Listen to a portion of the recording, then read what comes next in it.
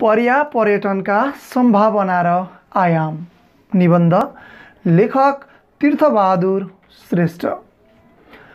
मान्छे प्रकृति र वातावरण बिचको सम्बन्ध र सन्तुलनलाई लिएर आजभोलि eco friendly eco tourism eco tourism आदि इको उपसर्ग जोडिएका थुप्रै लवजहरू प्रयोग हुन थालेका छन्। यस्ता अभिव्यक्तिको आधार इकोलोजी र इकोसिस्टम शब्द हुन् सन् अठार सय उनसत्तरीमा अर्नस्ट हिकेल नामक एक जर्मन वैज्ञानिकले इकोलोजी शब्द प्रयोगमा ल्याएका हुन्। यसमा ग्रिक भाषाका ओइकस र लोगस दुई शब्द समाविष्ट छन्।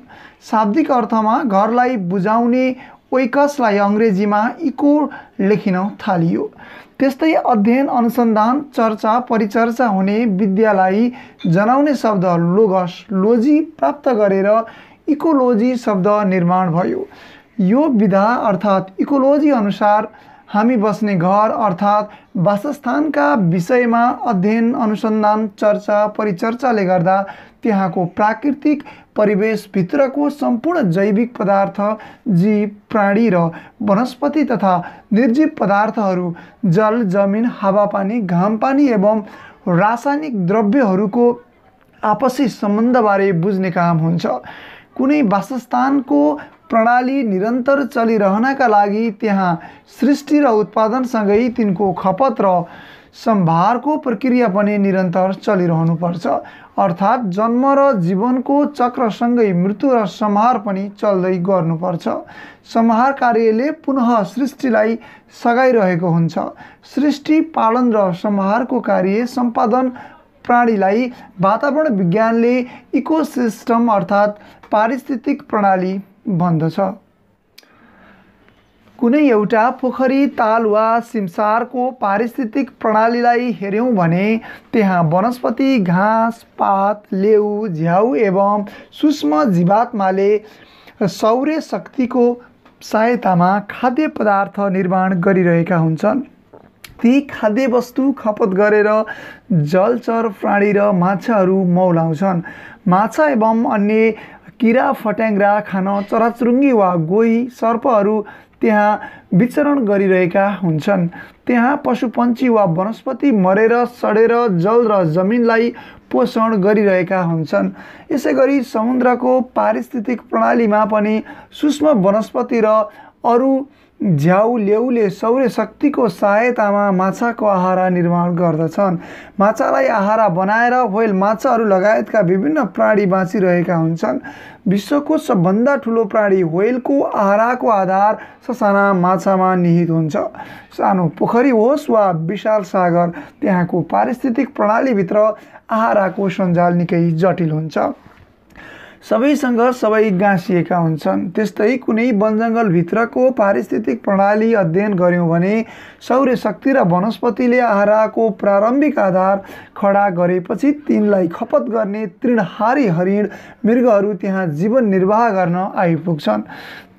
तिनलाई आहार बनाउने बाघ चितुवा हुन्छन्। बाघ चितुवा एवं अरू पशुपन्छी र वनस्पति मरेपछि सडेर गलेर फेरि माटो र हावामा लिन हुन्छन्।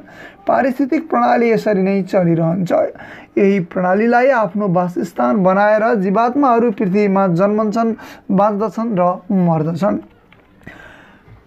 विहङ्गम दृष्टिले विचार गर्दा सम्पूर्ण पृथ्वी एउटा घर हो। यहाँ जल स्थल वायु आकाश र तेज प्रकाश यी पाँच तत्त्व पञ्चतत्त्वका बिच जलचर स्थलचर नवचर र सबै चराचर आफ्नो जीवन बिताउँछन्। पृथ्वीलाई छोडेर अन्य ग्रहमा जीवात्माको अस्तित्व भेटिएको छैन। त्यसैले हामी सबैले यहीँ बाँच्नुपर्छ यहीँ मर्नुपर्छ।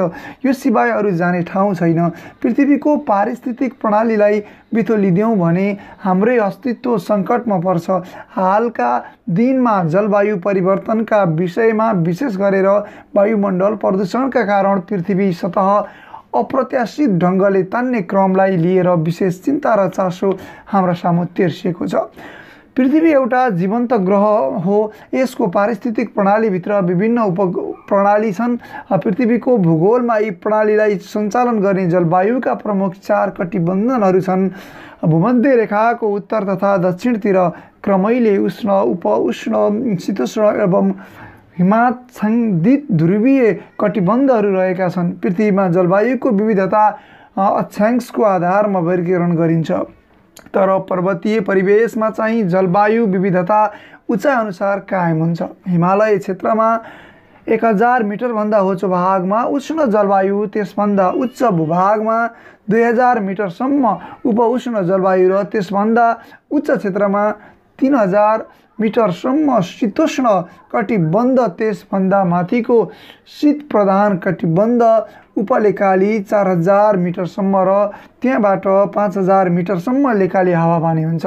पाँच हजार मिटरभन्दा उच्च भागमा हिमाच्छादित क्षेत्र हुन्छ। त्यसैले हिमा हिमालयलाई तेस्रो ध्रुव भनी भनिन्छ।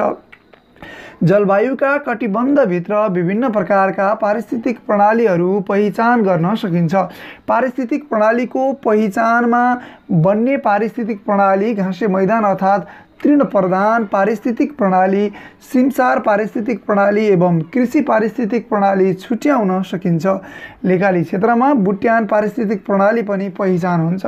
वन पनि विभिन्न प्रकारका हुन्छन्। चितवन राष्ट्रिय निकुञ्जभित्रको बन्ने पारिस्थितिक र अन्नपूर्ण संरक्षित क्षेत्रमा बन्ने पारिस्थितिक बिल्कुलै भिन्न हुन्छन्। चितवनको घाँसे मैदान र मुस्ताङको घाँसे मैदान एकै हुँदैन। रारा दहको सिमसार र बेगनास तालको सिमसार पनि बेग्लै प्रकृतिका हुन्छन्। नेपालको पर्यावरण र यसका पारिस्थितिक प्रणालीलाई सरलसँग बुझ्न र बुझाउन नेपाललाई बारदली सहितको एउटा पाँच तले घर कल्पना गर्न सकिन्छ।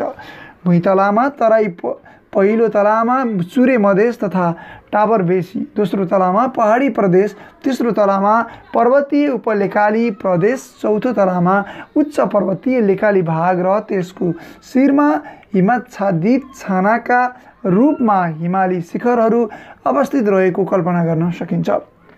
यस भवनको उत्तरी मोहडामा बार्दली झैँ निस्किएको भोट प्रदेश पर्न आउँछ पर्वतीय धरातलले गर्दा यस घरको पर्यावरणीय जटिलतालाई पर्वतीय पारिस्थितिक प्रणाली भन्ने चलन छ। पर्वतीय धरातलले प्रदान गरेको प्राकृतिक विविधता र तिनका विलक्षण छटाहरूको आकर्षणका कारण विश्व समुदायबाट नेपाल आउने पर्यटकहरूको घुइँचो बढ्दो छ। पर्यावरण प्राकृतिक सम्पदा तथा सांस्कृतिक विविधताको आकर्षणमा मैलाउने पर्यटनलाई विशेष प्रकारको व्यवस्थापन आवश्यक हुन्छ। त्यसलाई चलन चल्तीमा पर्या पर्यटन भन्ने गरिन्छ। पर्या पर्यटनको प्रमुख दायित्व पर्यावरणलाई शुद्ध राख्ने र तिनलाई बिथोल्ने कुनै क्रियाकलाप नगर्ने जिम्मेवारी वहन गर्नु हो। यस व्यवसायले प्रकृति संरक्षण कार्यलाई आर्थिक एवं प्राविधिक स्रोत साधन जुटाएर सहयोग पुर्याउनुपर्छ।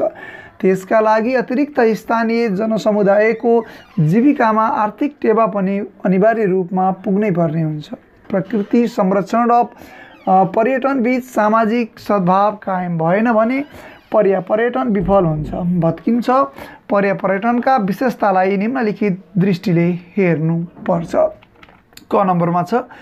यो व्यवसाय प्रकृति र पर्यावरणको आकर्षणमा आधारित हुनु आवश्यक हुन्छ। यो त्यो सगरमाथा पनि हुनसक्छ वा सारस पनि हुनसक्छ।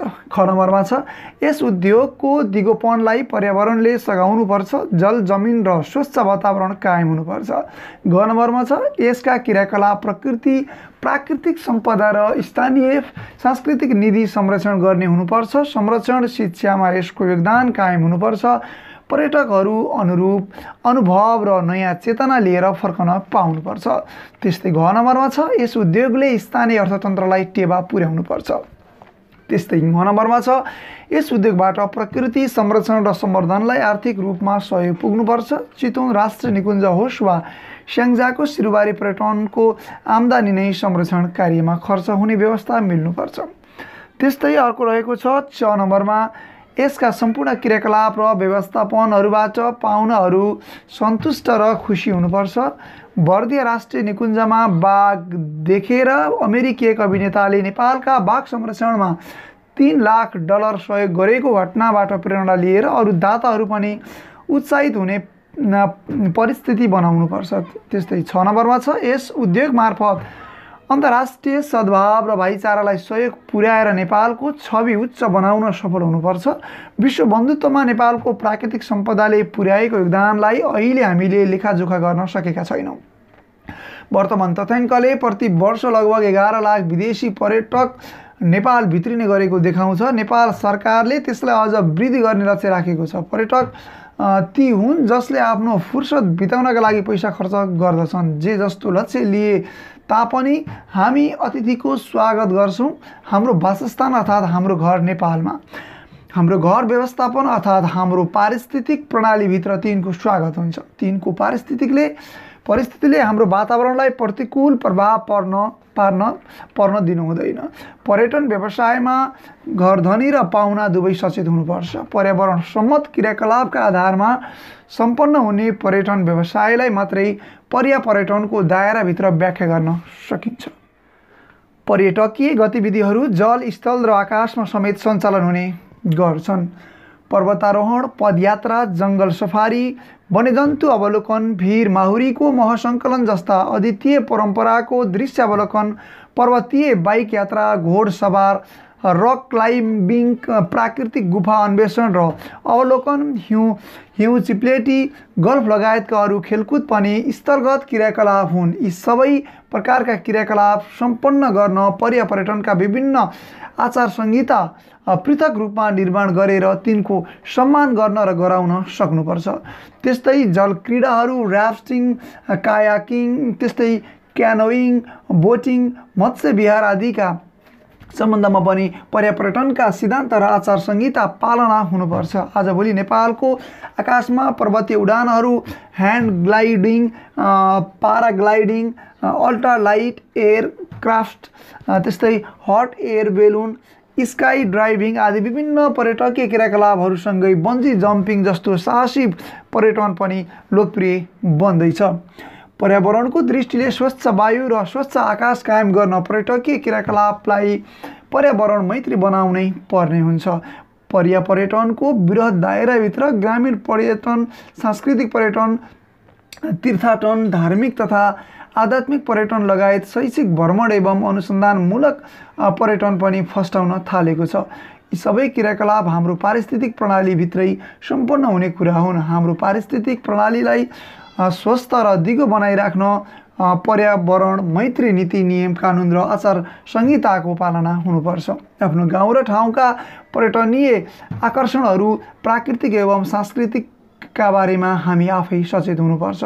स्थानीय गौरव र गाथाका प्राकृतिक एवं सांस्कृतिक सम्पदाहरूको छायाबाट नयाँ पिँढीलाई रोजगारका अवसर मात्र होइन स्वाभिमान समेत हौस्याउने अवस्था सृजना हुन्छ। नयाँ पिँढीको विदेश पलायनलाई आफ्नै पर्यावरणको आकर्षणले नियन्त्रण गर्नु आजको माग पनि हो हाम्रो नेपालको।